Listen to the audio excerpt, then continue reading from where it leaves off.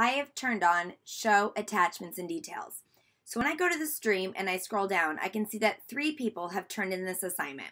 So I'm going to click on the three. It's going to show me on the left-hand side the roster who is turned in. I can see a comment preview. So I'm going to click on that person's name. I'm going to see their work here on the right and their comment.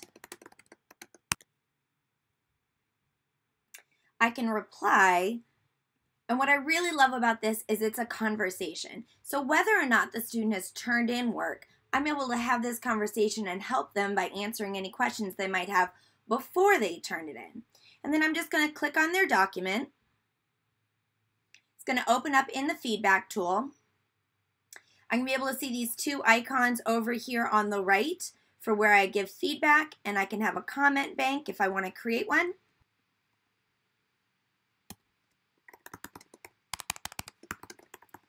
I can leave comments in the document or I can leave private comments in the sidebar.